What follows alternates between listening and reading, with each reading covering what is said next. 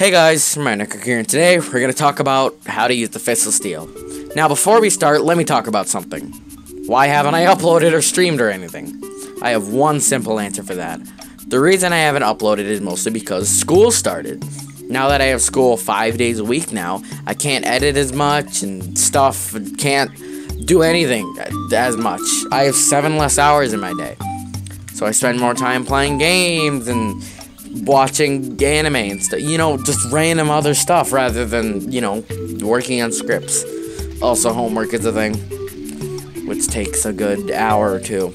My second reason is that I've been really lazy. I haven't worked on my scripts as much as I should. But why haven't I streamed? I don't need a script to write. I, I don't have to write a script for that. Well, simple. I can only stream at 650p at 20 FPS. My laptop is trash, so I have to have low settings.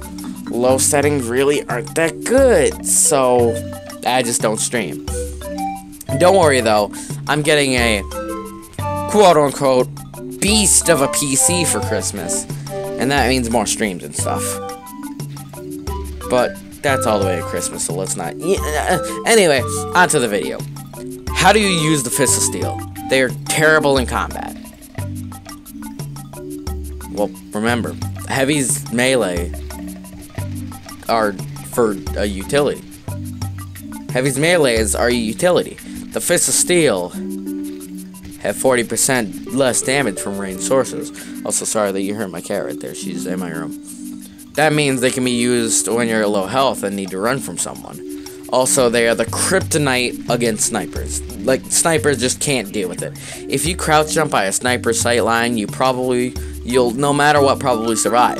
Or maybe take a few, a few body shots. But with the Fist of Steel, a few body shots might get you down to, at most, 250 health.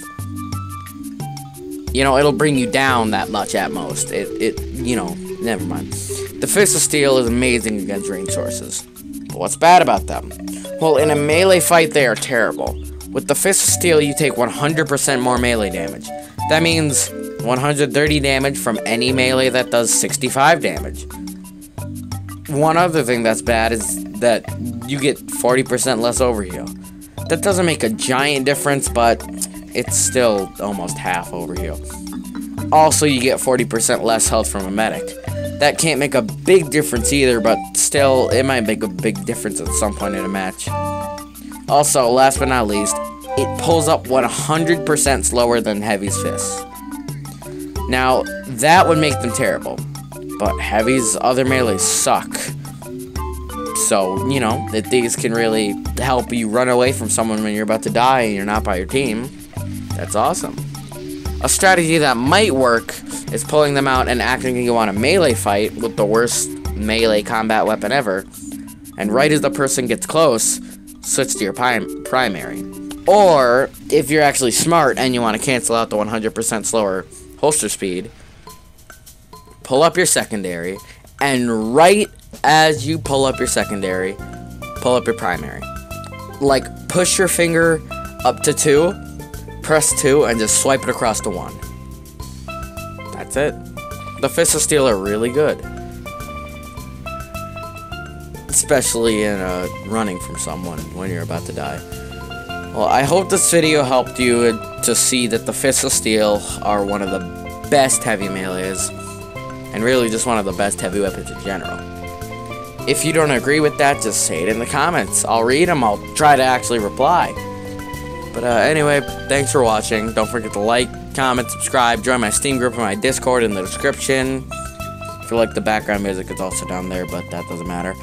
Uh, that's all. Thanks for watching. See you in the next video. In like a month. Bye.